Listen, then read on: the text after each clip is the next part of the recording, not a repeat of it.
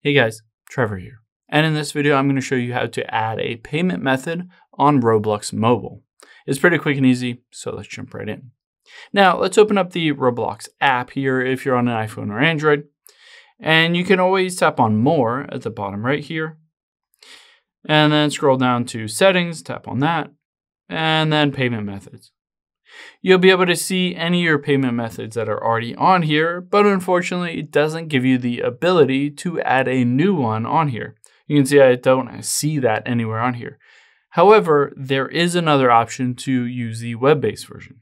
So let's open up a web browser here, and we're going to type in roblox.com and hit go.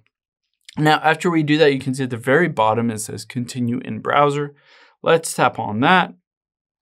And then again, we'll tap on the gear icon at the top right. And then choose settings. At the very top, it says account info. Let's tap on that and switch to payment methods.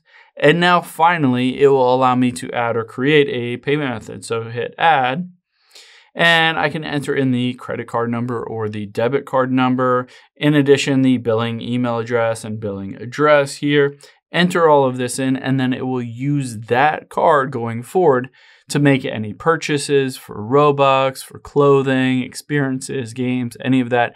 It'll basically use that specific card. I hope this helps. If it did, hit the subscribe button down below. It really helps me out. And I'll catch you on the next one.